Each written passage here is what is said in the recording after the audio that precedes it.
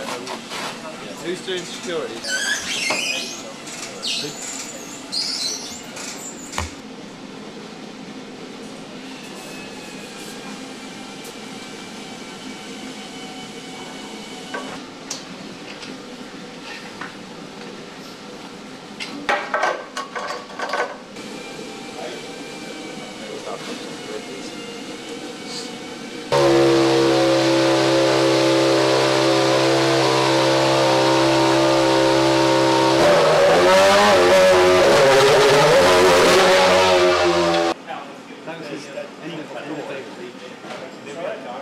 You've got 72 hours before we need to really worry about.